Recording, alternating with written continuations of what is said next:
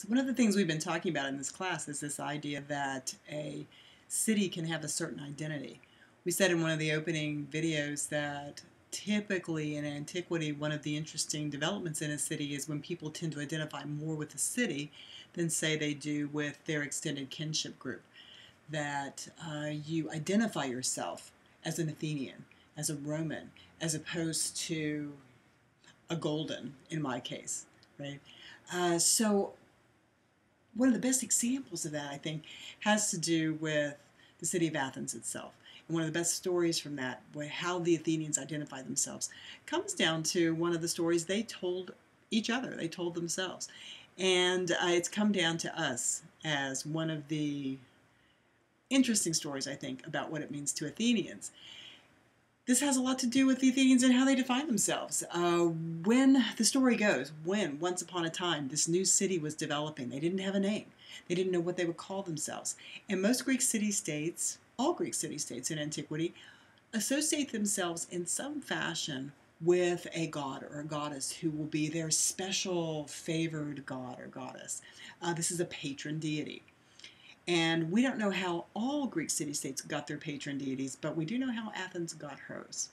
So the story goes brand new city, developing in Greece, haven't decided what to call themselves yet. And so they know they need a patron god or goddess to lead them. So they have a contest.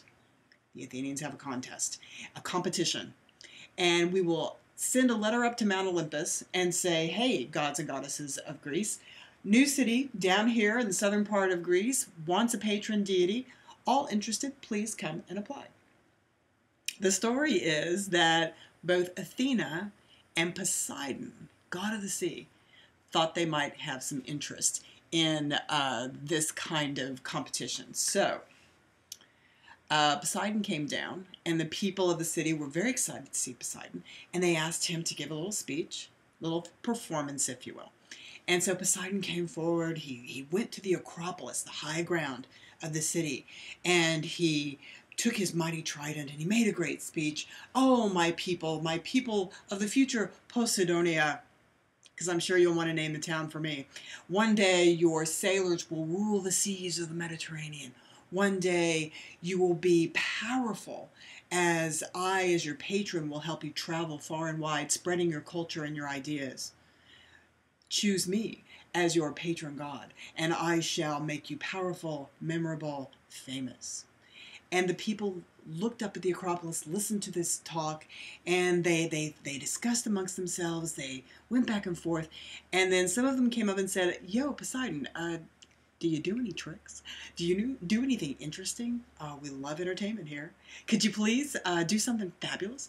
And so Poseidon, looking a little bothered, a little disturbed, took his mighty trident and he smote the Acropolis with his trident, and up sprung a spring of water. Now, this you should know, uh, Greece is very much drought prone. Greece has a shortage of water, so the people were very impressed, very excited. They climbed up to the Acropolis. They, they shook Poseidon's hand. They tasted the water. they spit it out. Oh, Poseidon, salt water. Salt water, bad form. Oh, move along. Next. And up came Athena. And Athena, also on the Acropolis, great, gave a great speech. I am Athena, she said, daughter of Zeus, uh, sprung full grown from his head.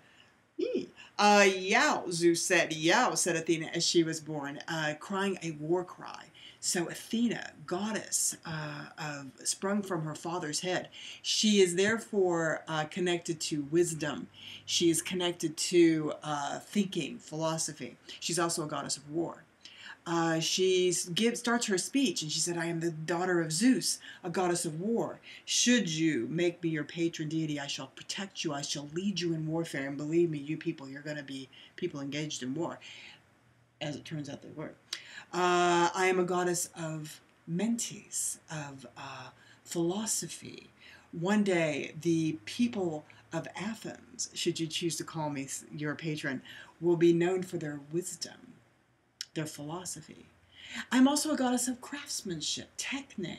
One day, the, uh, the, the, the crafts of Athens, the, the beautiful art, uh, the pottery, uh, the textiles will be famous throughout the world. And the people thought, oh, lovely, lovely. She's very nice. Uh, they discussed, they debated, and they called up to Athena up on the Acropolis Athena, do you do any tricks? We love entertainment. So she took her war spear and she smote the Acropolis, and up sprung an olive tree, fully grown, bearing fruit. And the people climbed up to the Acropolis and they congratulated Athena and they looked at the olive tree and they said, Well, you know, that's lovely, but we've got lots of those all over the place what's so special about that? And she says, oh, you people, the olive, the olive tree uh, provides oil to cook, oil for cleaning.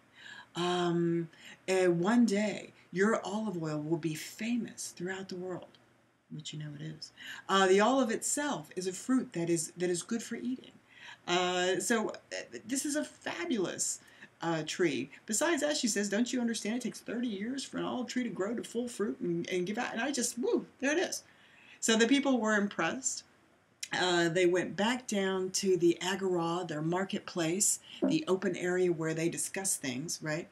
And they they discussed, they debated, they went back and forth, Poseidon, Athena, Poseidon, Athena, and then the people took a vote, and the people of Athens voted for Athena to be their patron deity. I bring in this story because I think it's a great example of the history and culture of Athens, their myth making, their storytelling, their connection to the entertainments, their understanding that they themselves, as one of the first fully democratic societies that we understand, that we know of, chose which god they would celebrate. The gods didn't choose them, the Athenians chose their gods.